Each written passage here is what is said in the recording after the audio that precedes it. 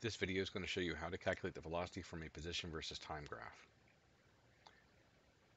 Here's the graph, and here's the question we're going to use to uh, investigate this. Calculate the velocity at 5 seconds.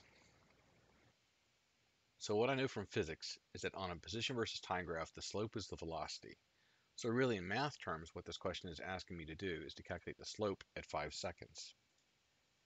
Slope is rise over run, so on this graph, that's going to be the displacement divided by the change in time. So at five seconds, I'll go up to hit the curve, and I can see that I have a dot on this straight line. So what I need to do now is I need to find the slope of the line, because I know the slope of this line between three and six seconds is the same everywhere. It's the same at three and a half, at four, four and a half, five, it, the slope is the same. So I need to pick two points. I'm going to choose two points where the line seems to go through the little corners of the squares of the graph. I'm going to pick six seconds where the position is zero. That's going to be my final. And my initial, which happens earlier in time, is going to be at three seconds. And that's going to be at a position of six meters. So the displacement is the difference between these two positions. That's going to be the final minus initial, which is zero minus six. So that's negative six meters.